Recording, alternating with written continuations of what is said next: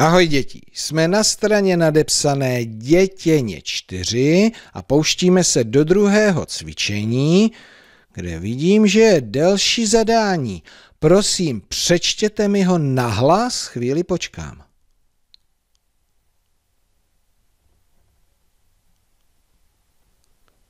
Zopakuji po vás. Přečti a říkej, co děláme na zahradě. Dobře, takže začneme s tím čtením. Vidím, že článek má i nadpis. Takže si čtení připravíme pomocí tohoto interaktivního cvičení. Takže nejdříve ten nadpis, pozor, předložka se slovem nádech a čteme. Na zahradě. Opět nádech, věta bude asi delší, takže pořádný. Dědeček a babička mají velkou zahradu. Pořád tam je hodně práce. Výdech a zase nádech. Pozor, předložka. Na jaře upravujeme záhony. Dědeček ošetří ovocné stromy. V létě záhony zaléváme a okopáváme.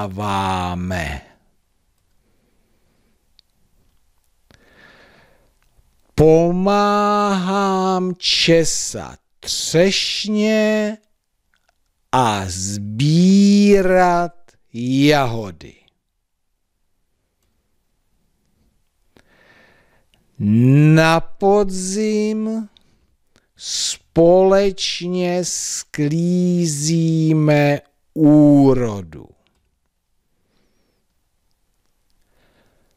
Zahradu chystáme na zimu. Celou zimu zahrada odpočívá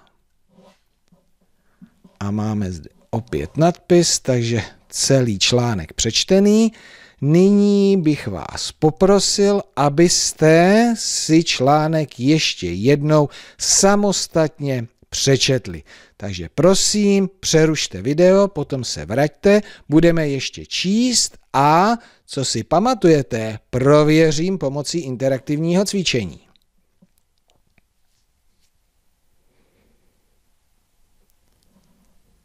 Děkuji, máte přečteno. Před dalším čtením se podívám na něco, co by mi mohlo dělat problémy. Ano, označím si předložky na zahradě na jaře, v létě, na podzim, na zimu. A ještě si zdůrazním konce vět, čili tečky, abych věděl, že tam mám klesnout hlasem, vydechnout. Takže na začátku budeme vždy nadechovat. Tak, nadpis. Na zahradě. Dědeček a babička mají velikou zahradu. Pořád tam je hodně práce. Na jaře upravujeme záhony.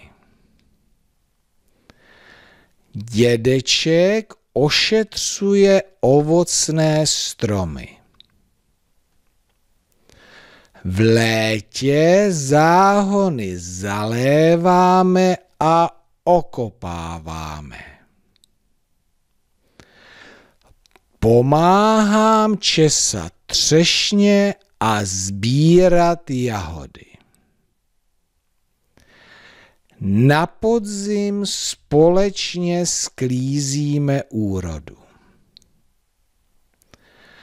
Zahradu chystáme na zimu. Celou zimu zahrada odpočívá.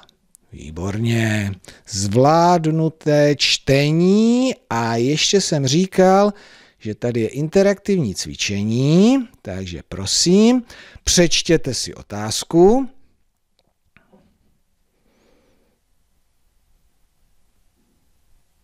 Vyberte. Na zahradě pomáhám česat třešně podle textu.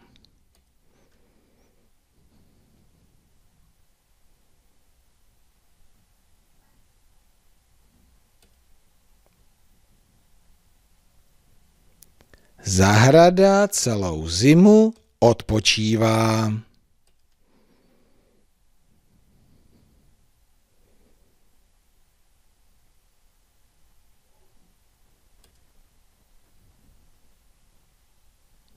V létě na záhonech okopáváme.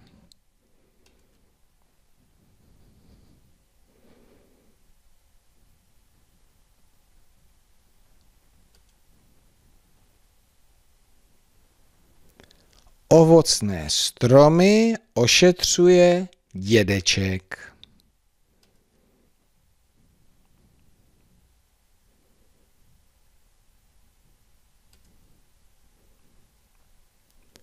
Úrodu sklízíme na podzim.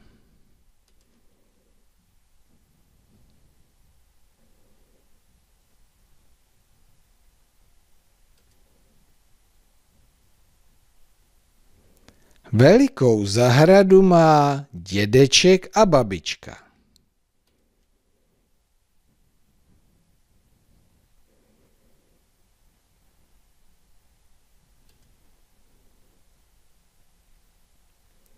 Záhony upravujeme na jaře.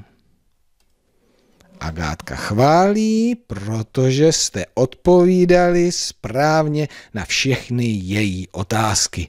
Tak fajn, máme přečteno, prověřili jsme, no a nyní zde je ještě říkej, co děláme na zahradě a o tom si můžete popovídat buď s rodiči, s vyučujícím, anebo klidně i s kamarádem.